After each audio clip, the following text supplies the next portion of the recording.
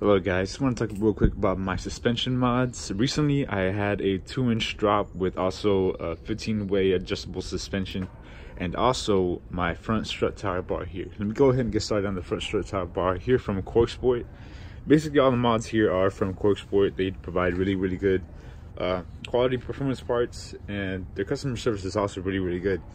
Uh, but first, a lot of people tell me tell me that the front strut tower bar is basically just an aesthetic piece. Uh, it's a waste of money, some people say, uh, but say, but go ahead and get it because it looks good.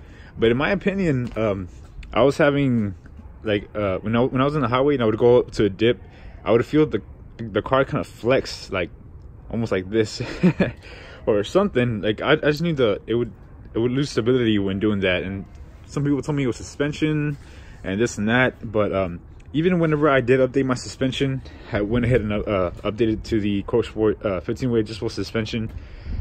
Um, so I I put on the suspension and then I took this off for these bolts. These bolts were actually shorter because they, these have a a plate, a camber camber plate. So the these bolts were, ended up being shorter than the the regular than the regular uh, stock ones. So the regular stock bolts will not fit onto this because for some reason these these these nuts over here they were only threaded up to the top half. And these nuts are all the, are threaded all the way through. So i had to wait until I, I was able to get some more nuts that fit the that fit these. So i rode with the car without the brace for a little while.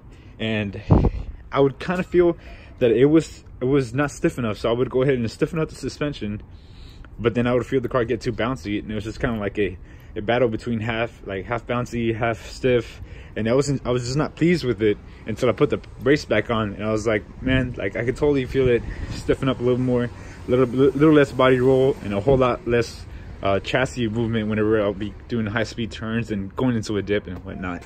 But um, yeah, but that's just my opinion. So some people say just get it just because it looks good, but I feel like it really did stiffen up the chassis a little bit. I get a little bit less flex in my opinion.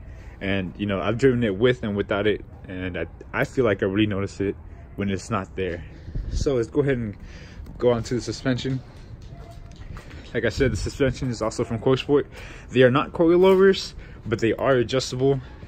Um, so basically you get a 1.75 inch drop in the front and a 2 inch drop in the back. Uh, one thing i do like to say like since they are directly from CorkSport, the springs, the lowering springs and the suspension were already put together. They're pre-assembled. So all I, all I did was just took the old parts off and put the new parts on. It was really, really easy. CorkSport provides really awesome detailed instructions. But also, I want to also mention, make sure you have everything in the parts description when when installing these. You want you want to take apart your car and then realize that you don't have an Allen wrench. And you can't put on your uh, you can't put on your suspension just because of that. And then you got to go get somebody else to take it to the stores to get one and then come back to your car. Um, yeah really easy easy easy setup.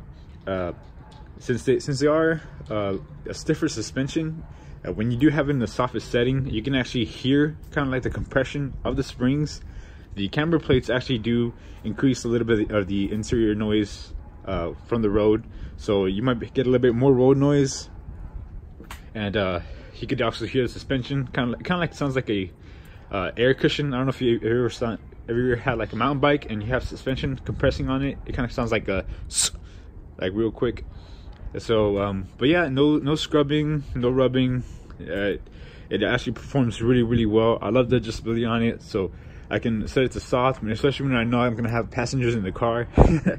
So um uh, so when you have it in the softest already is, is you just you just have more road noise than regular suspension but then you go ahead and stiffen up and you can really really tell uh, it's it's a crazy difference between soft and hard on the suspension.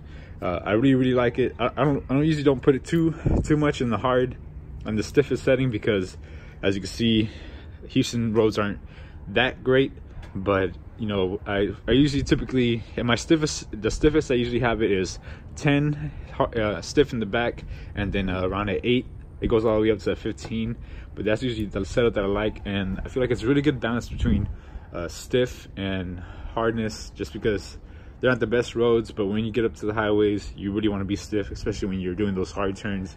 You you know you you really increase the uh, the miles per hour that you can take turns. Um, but yeah, I guess next upgrades would be these rims. I would still want to do the 18 inch rims, but uh, I want to go with Konig, so just get lighter rims and then go ahead and upgrade to the Michelin Pilot Sport. And yeah, that's basically it, guys. If you have any questions, uh, be sure to ask me. I'll, I'll I usually answer right away. Uh, but yeah, definitely check out CorkSport if you want any of these suspension mods. If you don't want to deal with coilovers, just because uh, there's presets, there's a preset stuff and whatever, and know you have to adjust the height, just get it just right, just to make sure it doesn't rub and it's too hard, too stiff. These, all I do to adjust these real quick, basically just turn this left and right, and then of course you do have it. You just turn that little knob right there left and right. On this side I don't have to jack up the car just reach it. You know I can just go in there and reach. But on the other side because of the gas tank is right here the the trim is a little bit lower so I do have to jack the car up. But that's it. I mean it's, it's no real big problem. Uh, just as long as you have a jack uh, you know you can do it real, real real fast. I usually you know from day to day I adjust it all the time so it's it's really great. But yeah all right guys. Appreciate it